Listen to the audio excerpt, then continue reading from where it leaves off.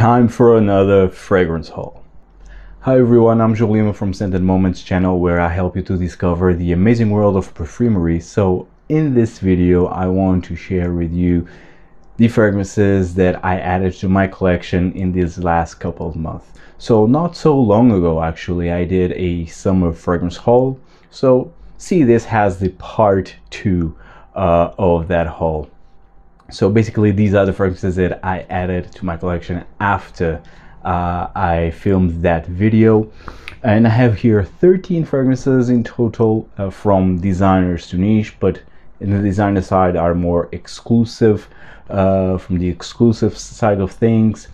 Um, but it was a fantastic haul. I mean, one of my favorite, one of my best hauls, I would say, that that I had actually. So the first perfume that I want to talk about that I added to my collection is from my favorite perfume brand, Profumum Roma.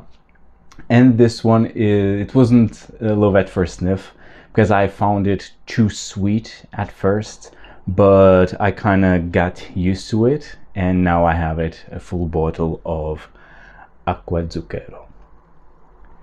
Released in 2002 I mean, this has a few years, like already over two decades. Um, this perfume is like the name implies is water and sugar. So this is a sugary sweet watery if they make sense perfume. This is a, a, bit fruity. This is very playful very fruity and strictly unisex. This is like pink sugar before pink sugar. It's amazing. Um, it's not scratchy. It's very rounded. It's it's really a fantastic sweet perfume. Um, I really do love it, and it's all you get basically. It's this sweet, fruity, watery feel.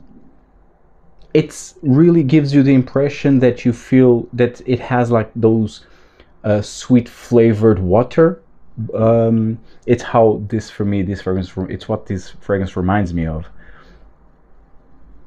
Is those water bottles that have um, different uh, tastes, like they taste like uh, fruits, uh, watermelon or whatever. So it's how this uh, remind, it's what this reminds me of and it's amazing. I think it's really well done. It's not scratchy. Again, I think it's well rounded. Yes, it is quite intense in the first uh, couple of hours. Uh, you really need to go easy on the spray because this this really projects. But after that, it really sets close to your skin. It leaves a very sensual sillage around you. I I really love it. This is addicting. This is perfect for summer nights. But again, do not overspray this. Um, but do not use it in the high summer heat or in very warm summer nights because this this can be too much even for yourself. But nonetheless amazing fragrance here Acqua Zucchero by Profumum Roma um, the other fragrance that I added it's from one of my favorite indie brands from Francesca Bianchi and it is Etruscan water. What a beautiful perfume. This is already the new bottle presentation of Francesca Bianchi. Um, this fragrance is to die for. Some people say that this smells like the original formulation of Eau Sauvage by Dior. I don't know, I never smelled it, so I don't know if that statement is true or not, but what I do know is that this fragrance smells amazing. It does have like a uh, like a retro masculine feel into it, masculine scent, I want to say. It has this bergamot, it's rugged, it's rough, it's mossy.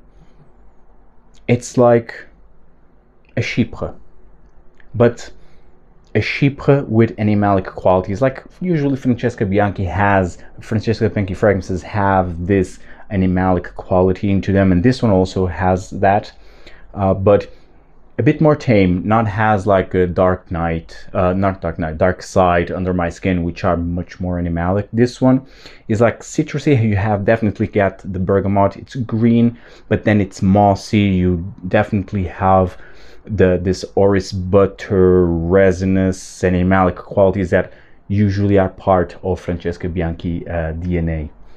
It's amazing, very addicting. Absolutely love this one. And this really shines during the heat, but again, more during the night because this is, this also has a punch into it. It's it's also quite intense. Um, so I really advise you to also wear this during cooler summer days or cooler summer nights, but really shines during those moments. I already wore this a couple of times during in a summer night out, and wow, amazing. But again, go easy on the spray here. Etruscan Water by Francesca Bianchi. Amazing perfume here. The next fragrance, this fragrance was released this year from the house of James Heeley, a very underrated brand that I really do love. I have already quite a few fragrances in my collection from James Heeley, starting with Sacré, Cardinal, um, Hippie Rose, Note Yuzu, uh, Rose Aria, which I absolutely love that perfume. And now I have this one, which was released again this year.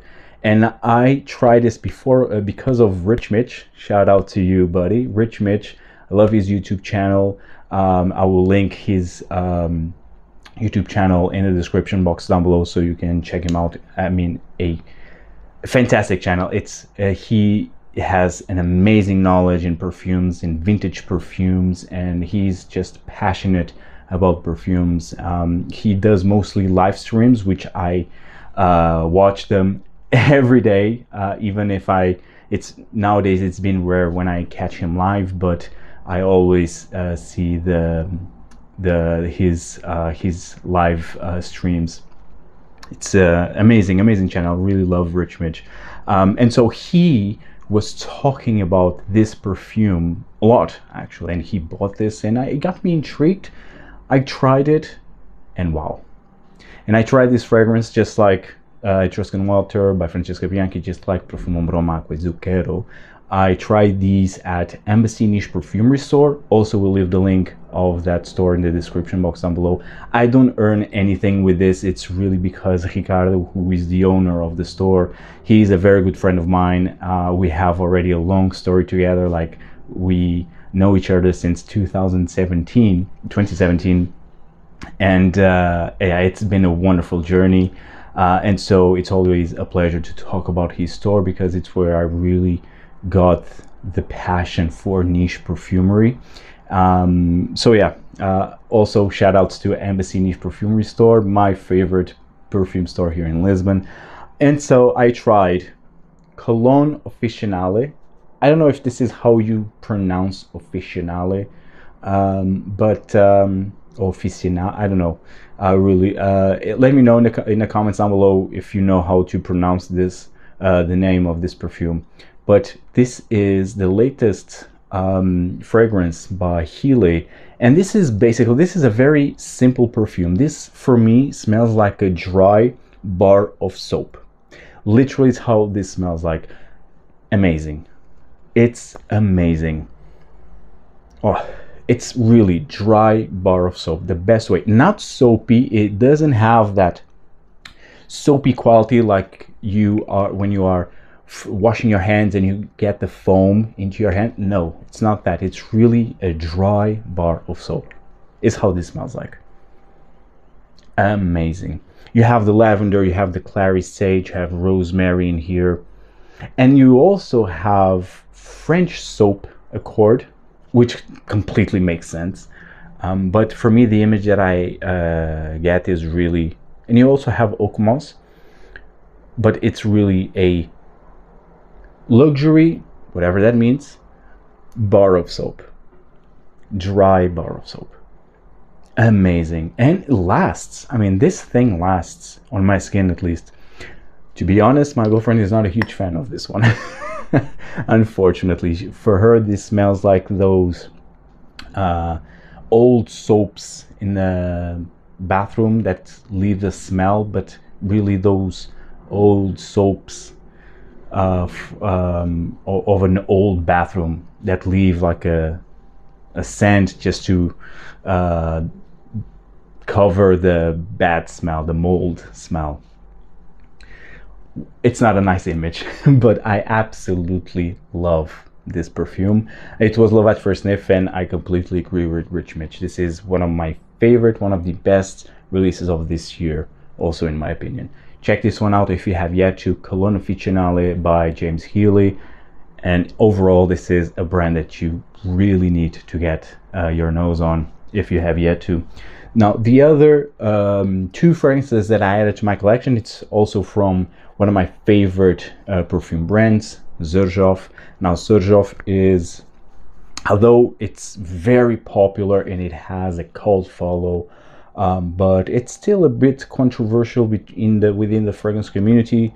I mean, some people really love it, other people really hate it. So, I mean, it's really um, love it or hate it type of type of brand. I personally love Xerjoff, and actually, the brand really never gave me any full bottles. So all the bottles that I have, it, I purchased myself.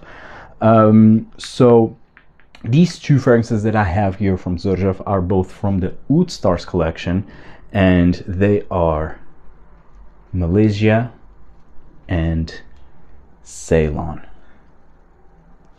Amazing perfumes here.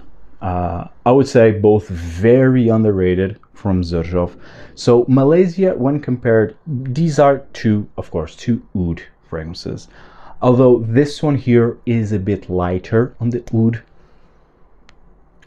It's interesting. This one, if I would say, this is like, um, I will not say like a niche version of oud wood, but because this is not really a clone of oud wood, I don't see it. I found other fragrances from niche brands that are more close to oud wood than this one.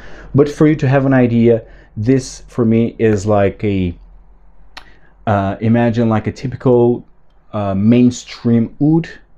Uh, however, the wood here is a bit more amped up, and so it's deeper, it's richer, but still having a likability into it. It's a bit animalic. It's a bit animalic, but it's still likable um, at least to my nose.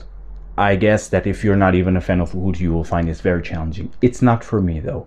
I find that this one is a bit softer. It has uh, depth. It's it has animalic qualities, but it's still versatile. I absolutely love this one. This was love at first sniff, Malesia, and then you have Ceylon. Ceylon, guys, amazing, intoxicating, animalic raw oud.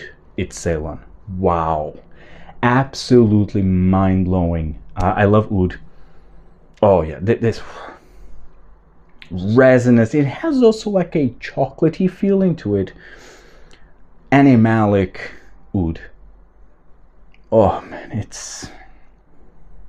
I absolutely love Ceylon. It is so good. So good.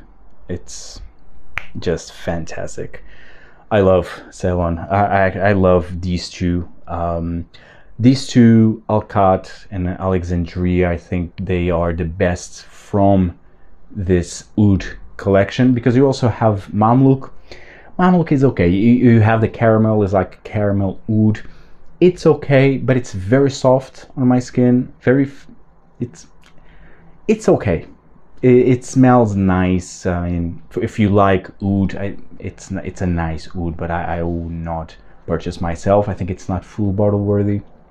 Um, you have a few others that I I am now forgetting, but uh, I would say that these are definitely my favorites: uh, Malesia, Ceylon, Alexandria too, and the flankers. I, I love them, and also Al-Khat.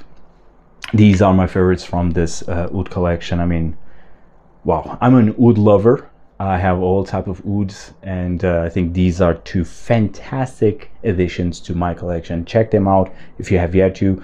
If you want a more versatile wood, check out Malesia. I think it's very underrated. If you want a more raw pungent animalic resinous wood, ceylon is the way to go. Now The uh, other fragrances that I have here, and I, I will not do any stops here, but the other fragrance that I added, it's also from one of my favorite perfume brands, which is Amouage. And this is from the feminine, from the woman side of things, which is uh, for me, perfume knows no gender. Uh, so uh, this for me is strictly unisex, and I actually do prefer this one than the men's um, perfume from Amouage because usually Amouage always release a duo, one for men and another for woman.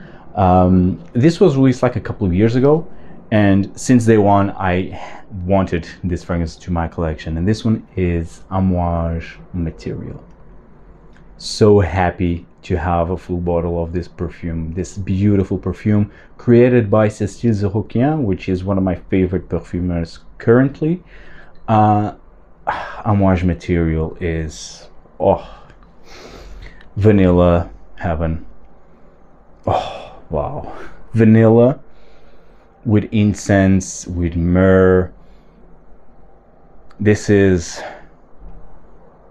labdanum. I mean, this is beautiful. This is a a this has an amouage quality. It's like the traditional amouage perfume, but with a sweet vanilla to tame the beast. A lot of uh, a lot of people compare this actually with Grand Soir by uh, Maison Francis Kurkdjian, which I absolutely love. And a lot of people compare this fragrance with Grand Soir. I can see slightly the similarity, slightly. I can see that sweet ambery um, similarity between in here material when in comparing with the Grand Soir. So I can see that sweet amberiness in here that you can find in Grand Soir but this is definitely more complex. This definitely has more layers because Grand Soir, I absolutely love it. For me, it's one of my favorite amber perfumes. It's like a fluffy, uh, delicate, ambery scent, sweet ambery fragrance.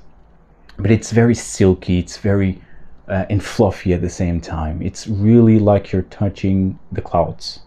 Uh, it's it's really what uh, and it's very romantic it's one of the most romantic perfumes that i ever smelled. Grand Soir this one is a bit more intense.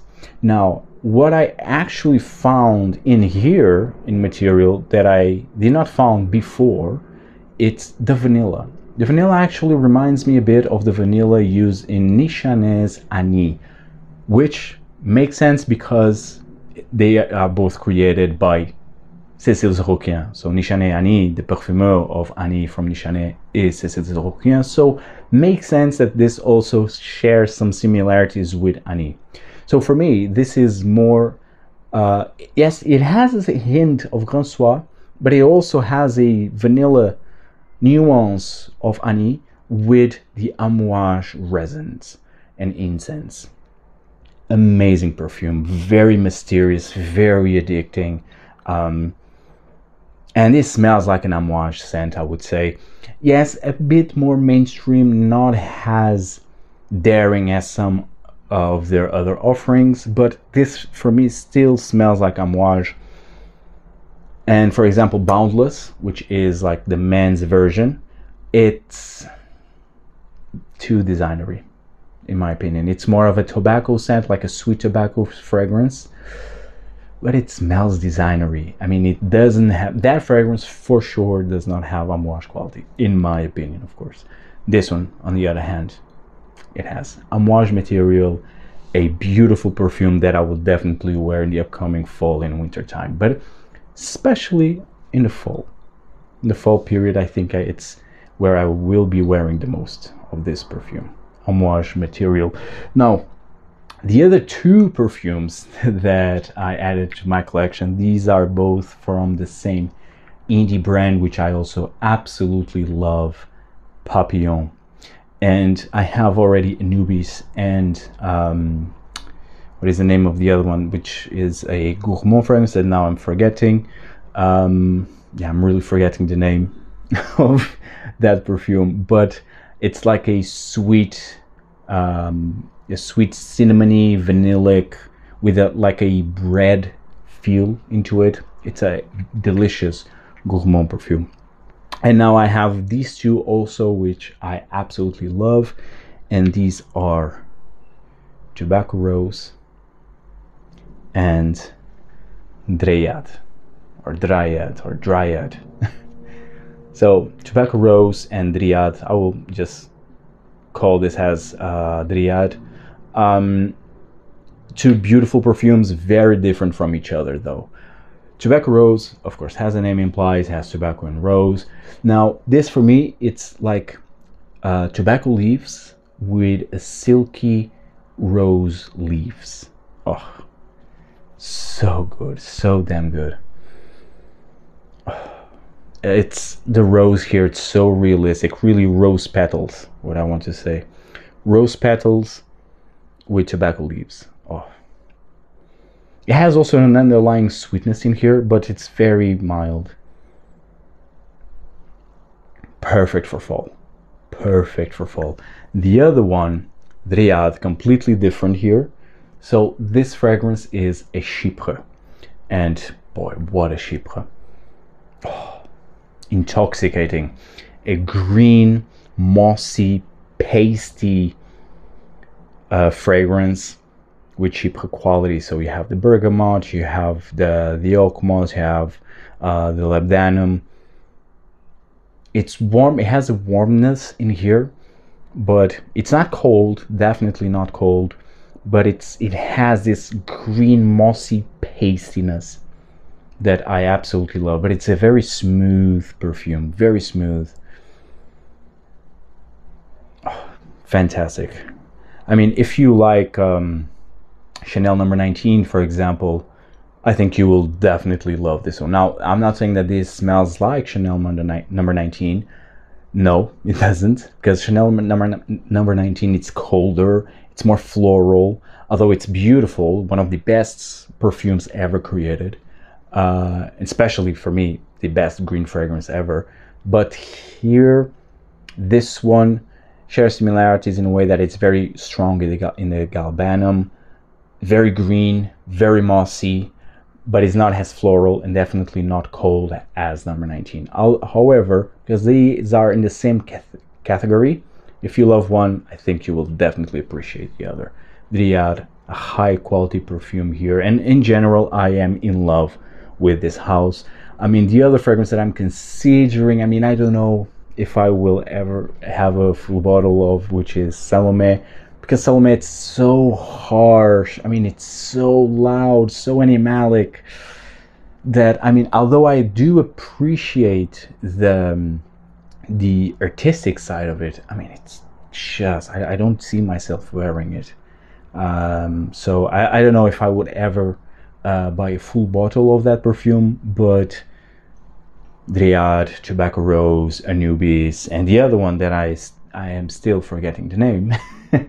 um, they are definitely my favorites. I, I, still have to smell Spell 125 Hera um, because those two were released more recently. I still did not try them, but these four are top notch, top top notch.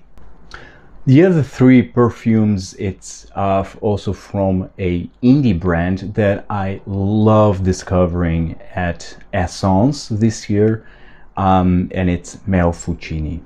Wow, his fragrances are amazing, very complex, original, uh, and they really take you to a journey, and that that itself is very rare nowadays and I already have three because they are that good. I, of course, I will not, I don't like all of them, but the ones that I tried so far, these three are definitely my favorites. I still have a couple that I would like to add, but I mean, I will share them uh, at the same time. So the first one is Odor 93 I mean, and the bottles are amazing, very heavy actually. And these are, uh, this is a 100 ml bottle.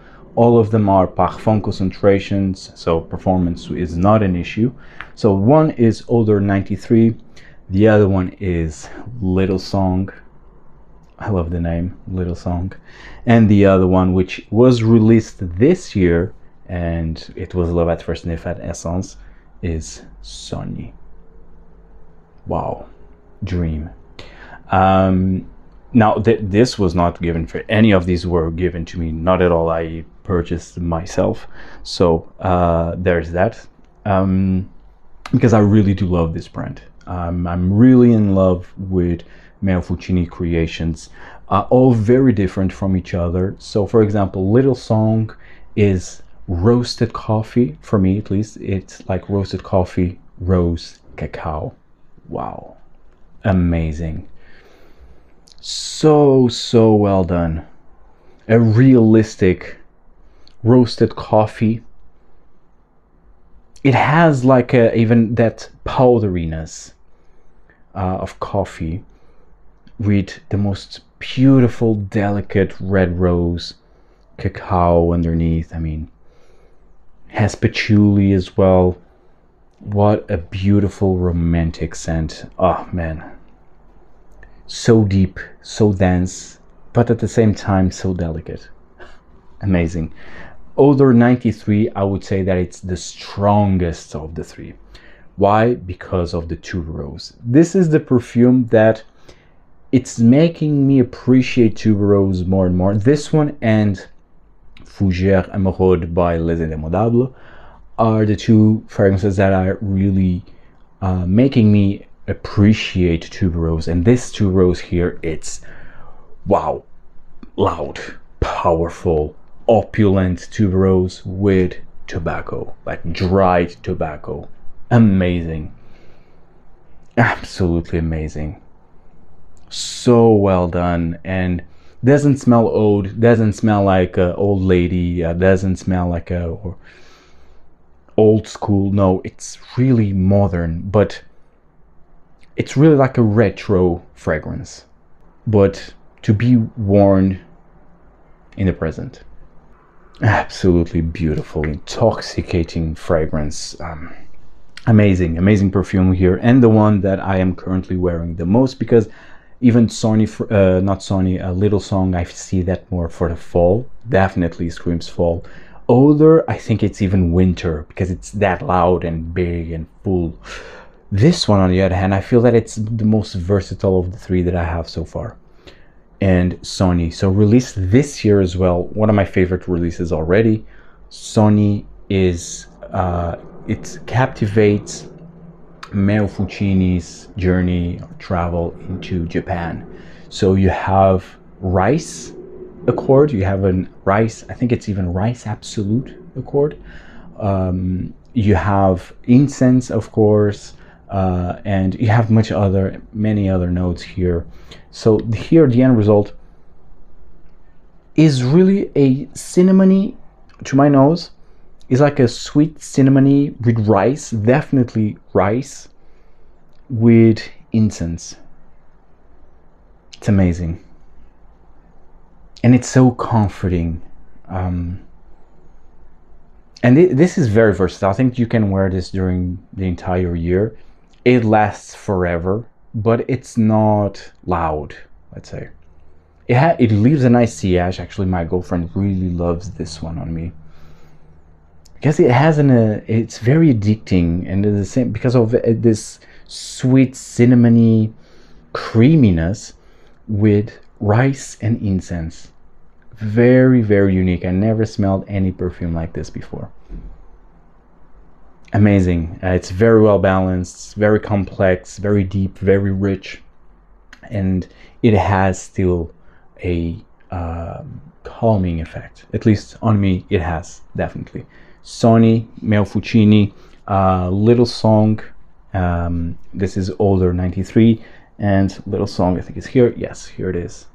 Beautiful perfumes, and these are very heavy, heavy bottles actually. And uh, this brand overall, it's I really advise you to check it out because you will definitely will set yourself in a perfume journey. Now, finally,